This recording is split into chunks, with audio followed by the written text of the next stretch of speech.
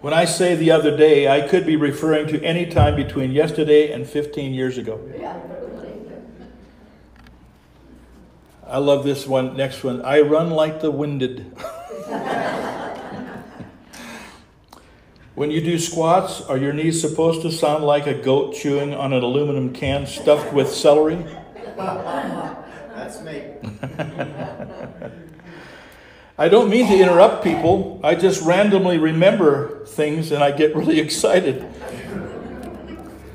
none of you got that. So I always say, when you get older, everything hurts, and what don't hurt don't work. You've heard that before, haven't you? Because everybody says, I haven't heard that, so fine. I love these little things. My grand, my young grandson called the other day to wish me happy birthday. He asked me how old I was, and I told him 72. My grandson was quiet for a moment, then he asked, Did you start at one? After putting her grandchildren to bed, a grandmother changed into old slacks and a droopy blouse and proceeded to wash her hair.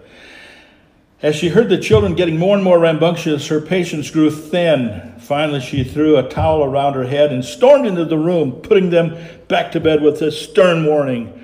As she left the room, she heard three, her three year old say with a trembling voice, Who is that? You've probably never seen your mom with a towel wrapped around her head. I didn't know if my granddaughter had turned or learned her colors yet, so I decided to test her. I would point out, the, uh, out something and ask, What color is what is that? She would tell me, and she was always correct. It was fun for me. So I continued, and at last she headed for the door, saying, Grandma, I really think you should try to figure out some of those colors yourself. uh, my grandson asked me how old I was. I teasingly replied, I'm not sure. So he said, Look in your underwear, Grandpa. It says in mine, four to six. You guys are all together to.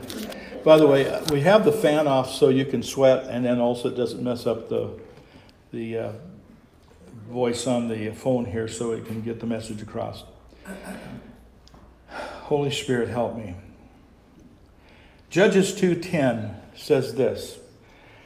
After that, the whole generation had been gathered together to their ancestors. Another generation grew up who knew neither the Lord nor what he had done for Israel. Basically, what that scripture is saying is after some of the great patriarchs had passed away, another generation rose up that did not know God and did not know the things which he did. Psalm 71. Now, here's the thing, folks. I was looking this up. A generation was lost one generation lost because the previous generation did not do everything they were supposed to do. We are seeing that right now in America. We're seeing it in a grotesque fashion that we have a whole generation does not know the Lord and does not know any of the things that He's done. The key thing is they did not know God. You know, one of the scriptures I'll read in a little bit here has to do with the testimony, the uh, sharing testimonies. I remember sitting with one of my grandkids, and I was talking about the miracles of Jesus. Now, you understand, my kids are believers, but they also have kids that are in uh, public schools, and so I'm telling the story about. I don't know if it was Daniel and the lion's den or the three Hebrew boys, but something that we know so well. And also, I threw in some miracles that Jesus did. And this little, sweet little face looked up at me and said, Oh, Grandpa, with disbelief. That didn't really happen. Well, yes, it did. Already, that little child, as a result of being two things. One is being in a place where there's a constant barrage of things that go against what God's Word says. And so we have a generation being raised by those in a public school setting that disqualify or just uh, reject anything that has to do with God or the miracle nature of God. It's frightening to me to think that we have people. In fact, if I were to do this right now, and I'm not doing it right now, but I'm just going to say, if I were doing that, I wonder if I said, how many of you could stand right now and give a testimony of a current thing God's doing? How many people would be able to jump up and say, that would be me? Now, don't anybody raise your hand. Don't anybody bug me. I'm just saying, if I were to do that, and I'm not, but I want you to know something. There's something missing when we can't stand at any point or where there's such a, a, revelation what God's doing in our life, some fresh thing He's doing that we wouldn't be chomping at the bit to stand up and say, hey, this happened to me this week. This happened to me today or the day before. I'm going to go right to a couple of scriptures. These scriptures I'm reading are a, a bunch of them, but I want to make my points through those scriptures to know. Like I say, it's going to be more of an exhortation on uh, on things that God stirred in my heart because I had all my notes already. Some of the ten best notes you'll ever find. I had no peace because the Lord is stirring my heart to say, listen, you need to speak from your heart right now because something's missing today in the body of Christ, even among leaders. And I've been guilty of it myself, where we're so concerned and, and so concentrated on what's not happening that we don't see that God is still happening and that He's not given up his church. And he's not given up on the United States of America. He's not given up on the world. He is still God. And there needs to be something, again, that stirs our heart to be thankful for the Holy Spirit of God. And I'm through apologizing for believing in the baptism of the Holy Spirit with the speaking of tongues and the power of God happening in lives. We have pushed that aside because some unpopular idea that somehow is all about our flesh. And I'm sorry, now I got myself all worked up. Sorry. But you know what? In the early days of Pentecost, in our own movement, they said that when Aimee McPherson was preaching, or praying rather, with some people for the Holy Spirit to fall, when it happened, you could hear the cries down the street of people saying, Oh, the Comforter has come. The Comforter has come.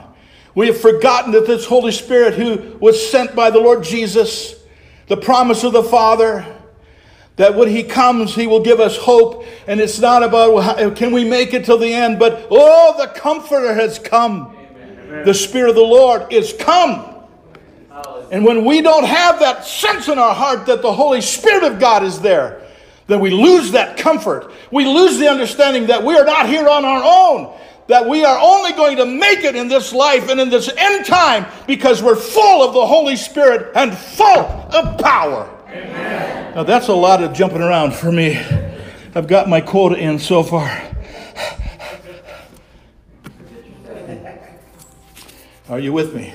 You know, I haven't raised my voice that in a long time, so I de- definitely feel like I run with the winded. But I'm telling you, something stirring in my, my spirit today. I don't want another generation. Because listen, as I'm getting older, I ask this question what excuse do, have we offered for the coming generation that says that they don't have to follow or pursue something of God's calling upon their lives? God is invading every area of our present world. But the church is, so, is suffering greatly with people who are feeling the call of God to step up and call or answer the call to be preachers of the gospel.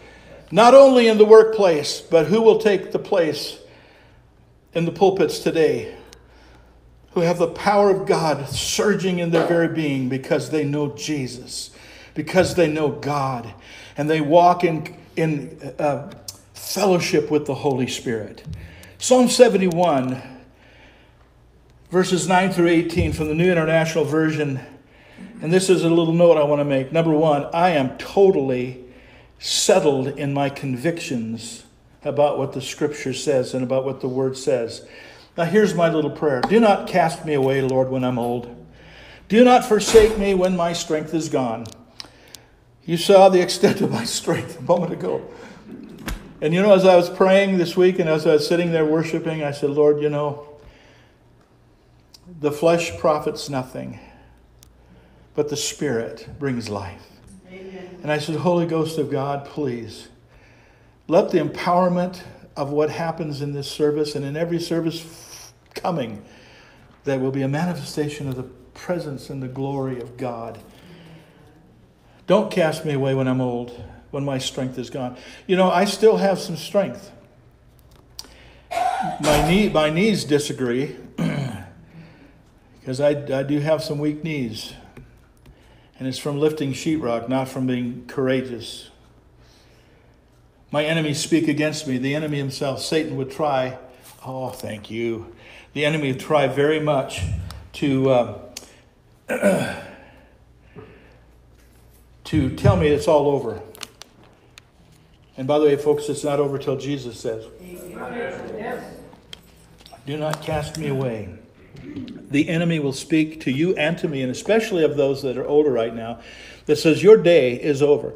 I think back of the younger years of when uh, my first churches, every church, this is the smallest church I've ever pastored in my, my life. And, if, and I, I, I know there are all kinds of cultural things that, that say this is why it's happening. But I still think it's an awful excuse to suggest that somehow the winds of culture would somehow blow out the power and the breath of the Holy Spirit in this time. I believe the Spirit of God's breath is breathing upon us, and we can have a greater outpouring if we'll just allow the Lord to do it in us. Amen. Our enemy says, God's forsaken me. I've, I've had it, listen, look at me. I'm telling you, I've had the enemy tell me, you have done, you're done. You've lost it. You don't have young people. You don't have, look at the crowd of people you have. You have a handful of people. And I've heard that lie in my ear. And by the way, I said, well, it's a fact. Well, listen, facts do not always represent the truth. And I'm telling you that the days ahead, I cannot settle for just a mediocre, mediocre ministry that we must as a church rise up in new Holy Spirit power and get once again connected with the Spirit of God, to believe for the supernatural, to believe for God to step in and do some things that we did not expect. Amen. Help us, Lord. The psalmist says, Do not be far from me, my God. Come quickly, God. Help me. Verse 13 My accusers perish in shame. May they perish in shame. And those that want to harm me, and I'm talking about the enemy and his outfit. And by the way, anybody who partners with him is in trouble. Don't come against the man of God. Oh, Pastor, who do you think you are? I tell you exactly who I know I am. According to Scripture, I am a man of God. He is my Lord, He is my God, and in Him do I trust. Verse 14 of that same psalm says, As for me, I will always have hope. I will always have hope. I will praise you, Lord, more and more. My mouth will tell of your righteous deeds and your saving acts all day long. You see, folks, the testimony that we bring must be declared continually. So the generation that has been lost will be re- re- re- reclaimed, and the one after them as well. And the scripture says the same. all your saving acts I'll praise all day long, though I know not how to relate them all. In other words, there's so many I can't recount all of them. There's more than I can ever remember. I will come and proclaim your mighty acts, sovereign Lord. I will proclaim your righteous deeds and yours alone. Get this your deeds, not my deeds, your deeds, Lord, not my own. Since my youth, God, you have taught me. And to this day I declare your marvelous deeds. Holy Spirit, help us. Even when I'm old and gray, do not forsake me, my Lord. You know, it's a tragedy these days. Is there tends, there tends to be a younger generation that forsakes the older. And the reason for it is there's been a dissolving of the family unit where people no longer recognize grandpa and grandma, or maybe they recognize they have two or three sets because of the dissolve of the family. There's such a, a blatant disrespect for what God has done in those in bygone days. The Bible says the glory of the youth is strength, the glory of an older person is their gray hair. Got a lot of glory on my head, just so you notice. But listen to this this is my prayer. I will declare your power to the next generation. In other words, do not forsake me, Lord, until I can declare your power to the next generation and your mighty acts to all who are to come. This is a prayer of mine. This is a commitment that I believe God has made to me, and I have committed to Him to show God's power, not mine, but God's power to the next generation. I started to say this a moment ago. If you remember the days of your youth, how God did so many mighty things when we were young, and I have to look back and say, God, how could you even bless the. There was so much ignorance. I was so young, but just You know what? You know what put me out of my my uh, junior year of college to go into the field was a passion in my heart that I needed to preach this glorious gospel of Jesus Christ before it was too late because I was so aware in my young age. I was a sophomore at 17 at Bible college.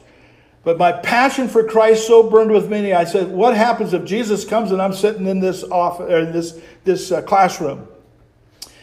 By the way, it was not a wise idea to throw it aside, but the one thing I do stand, uh, the education part, the one thing I do stand for is the fact that the passion that Jesus put within me was real enough to where I felt that I must be out doing the Father's business. And so we launched uh, evangelistic campaigns as young kids who hardly knew what we were doing. And I've told you the testimony of what happened in our high school when just a handful of people got together to pray for an outpouring of the Spirit. We had no agenda except that we wanted God. We wanted God more than we wanted anything else. We wanted to know the glory, and the presence of the Lord. And we believed that a handful of kids could see it happen. And that little prayer group started with just two or three of us. And then pretty soon we had six or seven. And then pretty soon we had a, dozen or more. And then pretty soon a revival broke out with high school students in a school where they had to cancel classes at the high school and the junior high because the move of God was that powerful. And by the way, we're not talking about a school that had a thousand people in it. We're talking about a small Christian school that was full of more atheists and God haters than you'd find anyplace else. But that young group of prayer warriors would pray. And I remember we'd stand in a circle. We'd put our lunches aside so we wouldn't waste time eating while we prayed that God would come with awesome power. And we hungered to see the move of God. We had such faith then. we had such faith. In fact, we had a gal, her name was Maggie. She weighed, Maggie was five foot tall, five foot wide. She was very, very obese. But she was a wonderful, wonderful person. And she wanted so bad to lose weight. And we said, you know, we're going to go to this healing meeting downtown in Los Angeles with Reverend uh, Evangelist uh, Bob McElroy. He's going to be praying for people, and we're going to go down there, and God's going to heal you and cause your weight to go away. No, you look at pious people, oh, that was so foolish. Let me tell you, I would rather be foolish for what we did. We got in a car and they brought a change of clothes for Maggie, and we went down to that little meeting, and we believed that somehow by being in the presence of God, all that fat would melt away and she would be thin, would have to put clothes on her. I know I've heard people mock that and say, well, you're just stupid. I'll tell you what, I take stupid faith over no faith at all. She didn't lose all the weight. But I tell you what, we went with such faith and expectancy. And I want to tell you something. I don't feel the least bit ashamed that I and that crew of kids that went down there that we foolishly put God to the test. No, you know what? God put us to the test because he put something in us in our heart that said, you know what? You can believe God for a miracle. Amen. And even though maybe God, you know, I don't know, maybe God did that somewhere that I don't know of, but all I know is this that God is able to do exceedingly abundantly above all that we ask or think. So I remember our early days of great faith and passion for Jesus. Verse 20 of that same psalm says, You've allowed me. Now, listen, I, am old, but I tell you, with that oldness, here's what happened. You, Lord, have allowed me to suffer much hardship. I tell you what, you can't talk faith until you've been through times when your faith has been challenged. Everybody just, you know, you sailing on, uh, you know, uh, uncharted waters or stormy seas and you didn't have a test in your life, I tell you right now, the worse your trial was, the more God's equipped you to realize that God will meet you at any point in your life. And we've all gone through things in recent history as well as our past where our lives were really put to the test. And somehow we did not bow our head and bow out of our faith, but we stood strong because we knew that our God is real. And even though we were knocked down, we were not destroyed. You will restore me, the psalmist says, to life again, and you'll lift me up from the depths of the earth and you will restore me to even greater honor and comfort me once again. Then I will praise you on the harp because your faithfulness your, uh, to your promises. And I will sing praises to you, O Lord, with the guitar. I added that in. Now,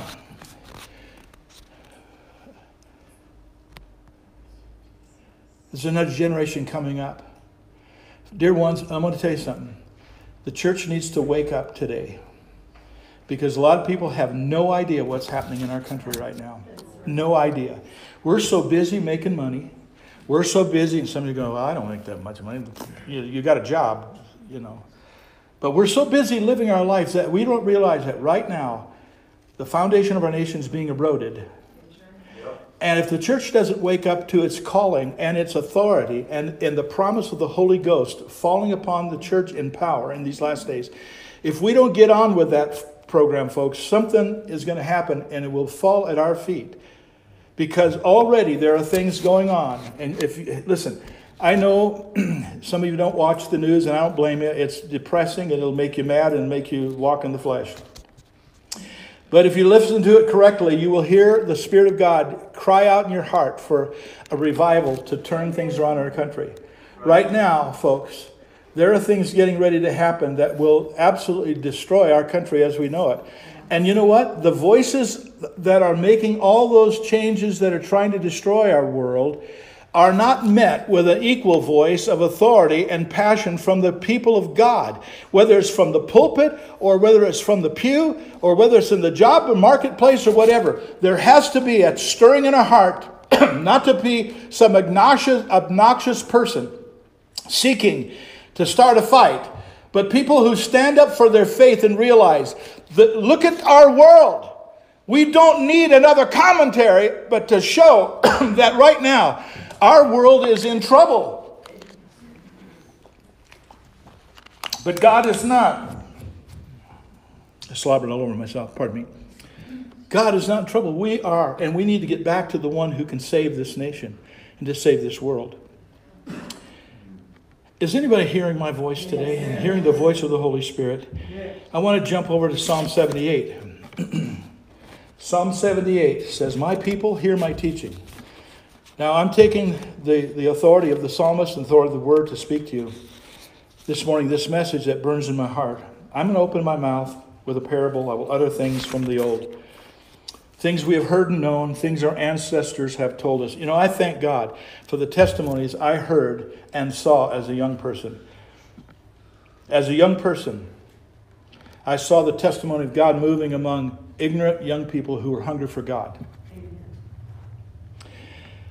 I heard testimonies from my family about the glory of God falling on a little church in the South where the fire department was called because they saw fire on the roof of the church. And it turned out not to be real fire in the sense of blaze, but a sense uh, it was actually the glory of the Lord that descended. That happened during the awakening of the Holy Spirit during the, the uh, revival in, uh, uh, I keep forgetting the name of the, Azusa Street. Thank you. Azusa Street. People, God, people were so hungry for God.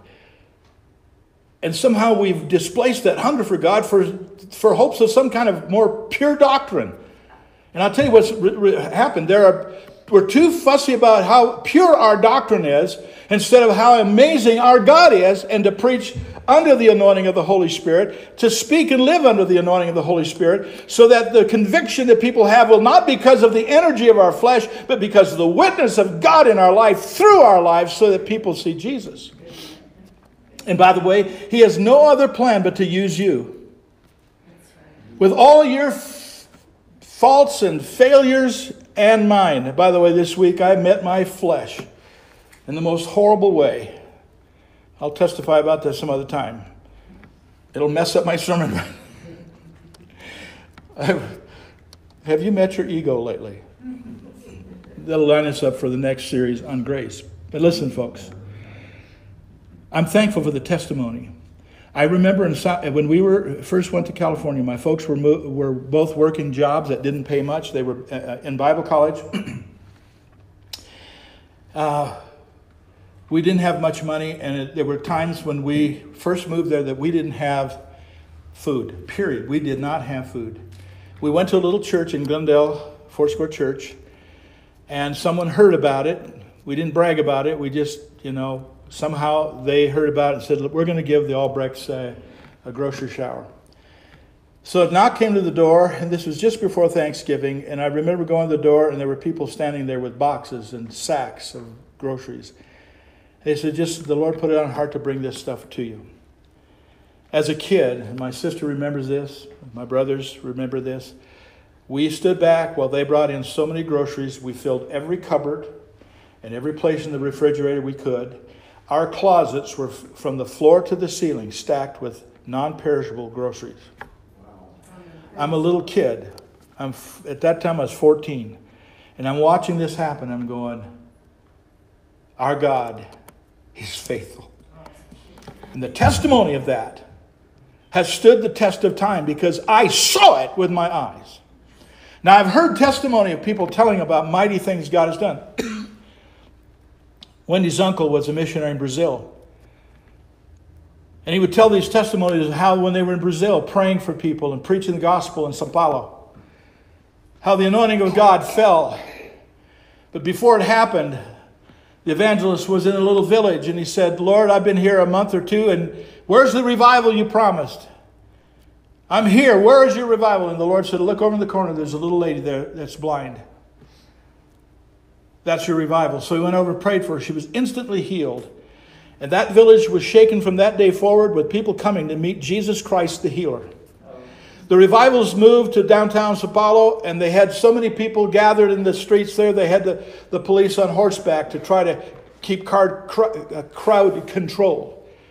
People would come in that were demonized from the insane asylums and they were prayed for, and they would fall to the ground under the power of the Spirit of God, and their chains were broken because of the anointing of God. The doctors would come in and unhitch the chains that they were bound with because they were violently demonic possessed, and they would be totally healed. He drove. He was going to the meeting one night, and as he walked by an alley, he saw a person who was laying in the alley was begging, but they had leprosy, or uh, not leprosy, but uh, elephantitis in the leg, horrible, swelling up, full of matter. It was nasty. And the Lord called him to just go over and pray for the person. And so he put his hands on that leg, and as he pulled down on that leg and prayed in the name of Jesus, the matter flowed out. He wiped it off on his hands and prayed, the guy was totally healed. And they went back to that meeting that night, and an officer who had heard, a policeman who had heard about that, brought a little boy on a pallet and brought him up to the stage and said, Are you the healer from America? He said, No, but I am the evangelist from America, talking about the healer. This little boy needs healing, a little leprous boy, no, no nose, uh, uh, members eaten off because when you have this form of leprosy, you lose all feeling. As he prayed for him, that little boy's nose grew back and little nubs grew back fingers. And I know people said there, well, I don't believe that. You weren't there. But you will, you will throw aside the fact that Jesus Christ, who healed the lepers, who cast out demons, who caused the, lame, the lame to walk and the blind to see, this same Jesus is the same yesterday, today, and forever. Amen. Oh, Holy Ghost, come again and revive your church. We cannot hide these testimonies. You may, listen, I know there's such an unbelief today, even in the church, that you tell these things, they just want, someone wants to, you know, prove it. You know, miracles don't have to be proved. They have to be celebrated and praised over.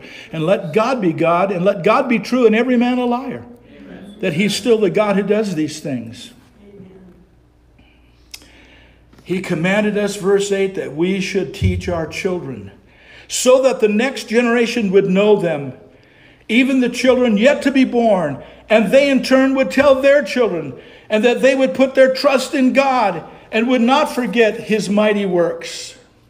You see, telling the testimony of Jesus can have two effects either that of unbelief, or it will stir the heart to say, I want more of the manifestation of God's glory and God's power. We're not talking about some man putting on a show or show. The power and the glory that God wants to show is about his strength, about his faithfulness, about his power, not ours. We have all seen these flawed leaders over the years who God used and said, Well, how can he use that flawed leader? I'll tell you how. Because God will honor his word above anything else that we do. That's no excuse for sloppy living. But it tells you this God will honor the covenant of his promise, where people will preach the word and act in faith upon what God said he would do. Quit worrying about the person who may be flawed. I'll tell you this God has his day to bring judgment to those who are misrepresenting Jesus. But I tell you something, folks, to represent Jesus correctly is to go back to the Bible and read those gospels. They're not just fables, they are truth of what God did. And he's still doing those things today. And we must remember that we have to tell our children so they will grow up knowing that the God their mom and daddy serve is a real God and that what he does still does today, that he still does those things today.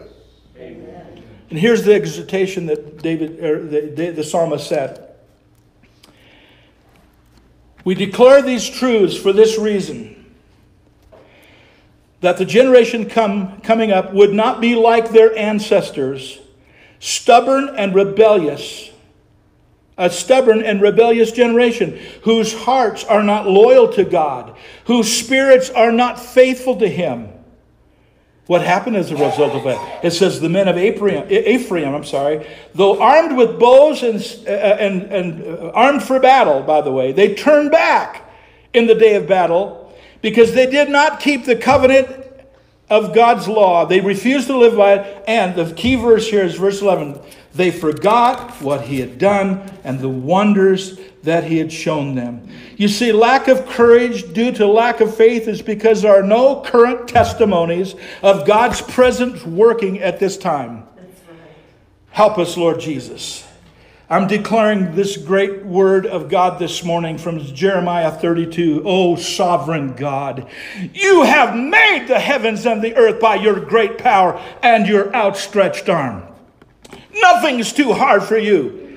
You show love to a thousand, but bring punishment to the parents' sins into the laps of their children. Boy, that's a hard one to get a hold of. You know what that says? God is willing to move, but there are consequences for us not doing what we're supposed to be doing. Great are your purposes, mighty God. Great and mighty God are you, whose name is Almighty. Great and mighty are your deeds, verse 19. Your eyes are open to all of the ways of all mankind. You reward each person according to their conduct and as their de- deeds deserve. But I want to tell you something. I started a couple weeks ago, this little snippet, I'll throw it in here. There's so much out there of disbelief in this goofy idea that somehow, listen, folks, we need to be good stewards of our planet. But I do not buy, and if I, this makes me unpopular, so stinking what? I believe the God who spoke this world into existence will keep it until the day he says, now it's over. And not until. And here's the proof of it. Your word, Lord, is eternal, established in the heavens forever. Your faithfulness continues to all generations, and you established this earth and it will stand. Second Peter chapter 3 says, that the present world, the once world, once a world was destroyed by a flood, this present world is being preserved or kept by God's own word until the time when he says, the elements shall melt with a fervent heat. This place is not going down till the Lord God Almighty says, that's it. And this idea that somehow it is just futile foolishness for mankind to say that we can save a planet God created. Since when did we become God? Help us, God, to realize we are mere men and that the God we serve is mighty enough to hold this thing together until the day when He calls us out of this world into His presence. I have absolute confidence in the power of God and the power of the Holy Ghost to rise up in these last days. Listen, I believe the anointing of God is upon me right now to say what I'm saying. And the fruit of it has, has to rest on Him. I pray that I stir every heart here to realize this is a time to get serious about God because I'm going to tell you right now the people that know their God shall be strong and do exploits. But those who are corrupted by flatteries and have gone against the covenant of God, they will be destroyed. That's not God's problem. That's our failure to line up as a nation, as a people, with the authority of Almighty God, the sovereign Lord who made the heavens and the earth by his great power. You say, well, Pastor, when are you going to get to the good news? Here it is Psalm 89 1. God is faithful to all generations. No matter how far the generations we're seeing right now have fallen. No matter how far it seems like they're untouchable. Folks, I'm going to tell you something. If you've never watched a video, epic videos on your TV, if you do, you have to go and get oil and blood and, and cleanse it. But if you don't know what's going on right now in the culture, you don't know what our kids are facing. Right. The most vulgar, sexual perverse junk is going on on the screen, and some of our children are seeing it, and we're not addressing it. And we've stood back saying, well, we have, we have no right to tell people or legislate to people what's right and wrong. That is the dumbest thing I've ever heard. Because everything about our laws right now legislates between right and wrong. Even though at this present hour, there is no true legislation of righteousness. And the unrighteous right now rule in so many ways. And the Bible says, when the unrighteous rule, the people groan. And people are broken right now because of it. Another promise to this generation, and I declare this right now 89 4 of Psalms Thy seed will be established forever and can build up thy throne, O Lord, to all generations. In other words, God is still working with the generations. We can see them redeemed. And that generation is to be built up so that the generations in front of them and behind them, especially in front of them, can be rebuilt. But here's the promise of Joel chapter 2. Do not be afraid, O people of Judah. Be glad and rejoice. Surely the Lord has done great things. Verse 23 Be glad, O people of Zion. That's the people of God. Rejoice in the Lord God. Rejoice because He's given you the autumn rains, and He's faithful and He sends abundant showers. Joel 27 30, 20, uh, sorry, Joel 2, verses 27 and 30. The outpouring of the Spirit will convince this present generation that the power of God is real as we believe for a manifestation of that. He says this Then you will know that I am in Israel and that I am, and by the way, that's not I am, I'm in there. It's I am, the great I am, not the great I was. The great I am is in Israel. He's in God's people right now. I am the Lord your God, and there is no other. And he goes on to say, Never again will my people be ashamed. And afterwards, during the time that we're in right now. This is a prophetic promise that Peter reiterated on the day of Pentecost. And so I'm going to say this with all boldness I will pour out my spirit, the Bible says, on all people, all flesh, not just saved flesh, but lost flesh completely destroyed flesh, perverted people, whatever the darkest people you can imagine. God loves them. His grace is there for them, and He will open up their eyes and their hearts to receive what needs to happen when we yield to the Holy Spirit and cry out to God that He will pour out His Spirit so that, get this, this is the hope for a generation. You've heard it before. Oh, dear Lord, help us to hear it again. Your sons and your daughters will prophesy. Your old men, thank God, will have dreams. Don't make me come out there. I need a shout every now and then, folks. Dear land, are we a Pentecostal church or did we die on the vine someplace? I know. Don't do it, Pastor. You're going to stir up a bunch of stupid people. Well, you're not stupid, and if you raise your voice and praise God, you're good. The old men shall dream dreams, young men shall see visions. See, the problem right now is our world is running wild because the generation has no vision for the future. They believe that you might as well eat, drink, and be stupid.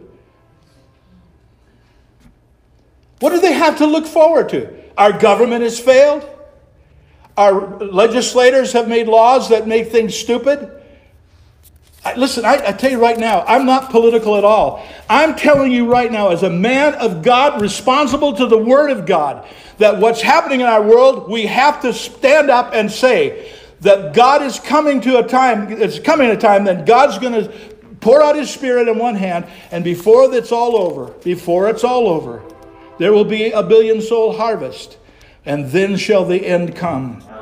We believe that God is going to pour out His Spirit in those days. And he says, at verse 30, I will show you wonders in the heavens and the earth. But here's, a, here's an interesting thing you need to know Isaiah 40, we know this so well. Even the youth shall faint. And you know, a lot of times youth will faint because the preacher preaches too long. But listen, this is not about us enduring. This is about us understanding the urgency of the hour. And I tell you, if this is the last sermon I ever preach, I'm going to say it right from His Word. Even the young will be weary and faint.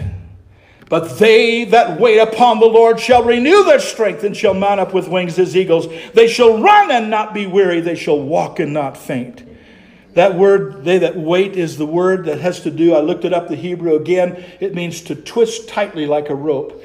They that wait upon the Lord, bind themselves to God and to His Word, they will renew their strength. And I'm praying that God, as He pours out His Spirit upon me, as I look toward that great hope of what He's going to do in this generation, what He's going to do in CCR, as we serve God with a passion, with a hungry heart for the Spirit, that as we join ourselves to Him with great hope, and forget about the empty chairs and forget about all that's not, but begin to understand that the Comforter has come and He's come to make Himself known and to make Jesus known in a way that we will manifest His glory in such a way that, that the world will see that we believe it. You see, the scripture says in Isaiah 29 because this people draw near to me with their mouths and their lips do honor me, but they've removed their heart from me. And the fear toward me is taught by the precepts of men. Therefore, behold, I will proceed to, do, proceed to do a marvelous work and a wonder among this people, even a wonder, a marvelous work and a wonder. For the wisdom of their wise men shall perish, and the understanding of their prudence shall be hid. Listen, what's getting ready to happen is that all these things that look so smart to our a die, dead and dying world, a world that's living in spiritual blindness, suddenly, and dear ones, hear me, suddenly those that are in power are going to experience the work of God in such a way as that they will be seen for what they are fumbling liars who are leading people down a path that will destroy them. They don't care about our country. And you say, Pastor, are you being political? I'm talking about any person who's perpetrating evil. I don't care what your stripe is, I don't care what your politics are. Right now, the church needs to awaken to the strength of God and stop being this, this waste of space that just wants to keep everybody happy with everything we do. We will stir up the devils when we start standing up for what God says needs to happen in this hour.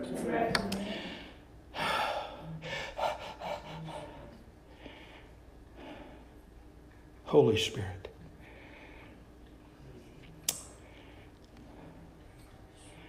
God promised Israel he was going to bring them out of bondage. Moses returned to the Lord. You remember what happened? God said, I'm going to deliver you. And the, the Pharaoh made it even difficult. Now they have to make bricks and gather straw. And Moses is ticked. He goes, God, listen. Why have you entreated us with such evil? Why is it that you have sent me to say this? Things are only getting worse. For since I came to Pharaoh, this is verse 23 of Exodus 5. Since I came to Pharaoh to speak thy name, he hath done evil to this people neither have you delivered us at all. Then he comes back, and I love this Exodus 6 1. Then the Lord said to Moses, Now shall you see what I will do to Pharaoh. With a strong hand shall I let them go, and with a strong hand shall he deliver and drive them out of this land. Drive out those inhabitants of the land. Now, I'm done, except for one thing and that is we've not done this in a long time. So I want some music to play, not because God can't move without it, but I want you to be more conscious of God than you are anything else. We have not done this in a long time. And then I'm going to ask you to take a stand today. In fact, I'd like you to stand right now because I don't think that we can do proper uh, allegiance to this message today unless we do something that's an act, a prophetic act of faith. And I'm going to ask you this morning if the Spirit of God is speaking to your heart, that you'll make your way to the front here around this altar. As people are saying, I am here to seek the fullness of God. I want more of God in my life. If God has stirred your heart, and listen, I'm telling you right now, there's no doubt in my mind that this word was from the Holy Spirit. I know it's from Him. And if we will just obey and let God lead, I'm going to ask you to come and come and stand around this altar. I want you to come so I, I want to pray for you. I want to pray for every single person. And I want to pray that God will